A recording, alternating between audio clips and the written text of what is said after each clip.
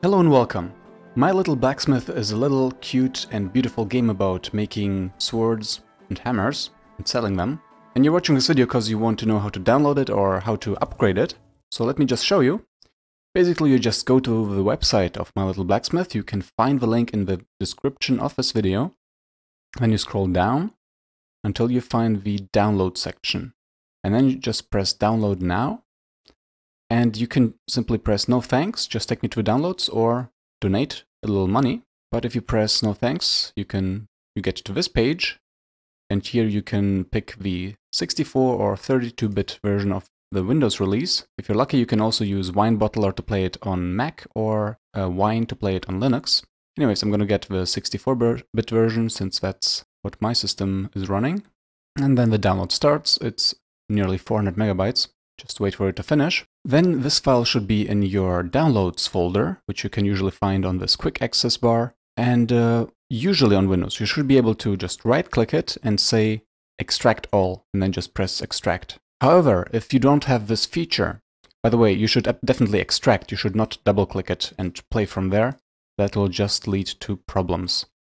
But again, if you don't have this extract feature, then um, you need to install or download a software that can extract it first.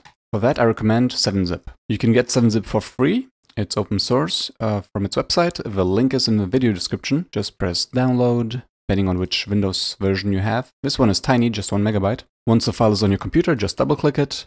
You will have to allow permission to install it and just press install. You can avoid restarting. Just press close and now you should be able to right click 7-zip extract to My Little Blacksmith. If this doesn't show up, then you might want to log out and log in into Windows again or restart the computer. And once you are in there, you can go into this extracted folder and open the shopsim.exe. Just run it. So if you run shopsim.exe and you get an error like Microsoft Visual C++ 2015 runtime missing, then all you have to do is go to this website, a link is in the description of this video, and go down here and press download. And then depending on the version of your Windows, you might want to download one or both of these. Just press next. And there you go. And then uh, you have to find these two files and just install them as well by double clicking them and accepting and agree to the terms and pressing install and so on and so on. In, case, in this case, I already have this, so I don't need to install it, but you might have to. And open the shop sim.exe. Just run it and you get the game. If you want, you can full screen it by pressing Alt-Enter and then it stretches to the whole screen. And you can also change a lot of controls if you go to press Escape and then go to Graphics.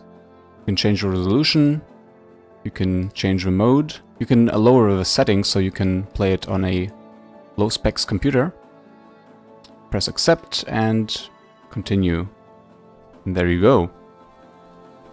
So if this helped, make sure to give us a like and subscribe to my channel for more tips and cool games in the future.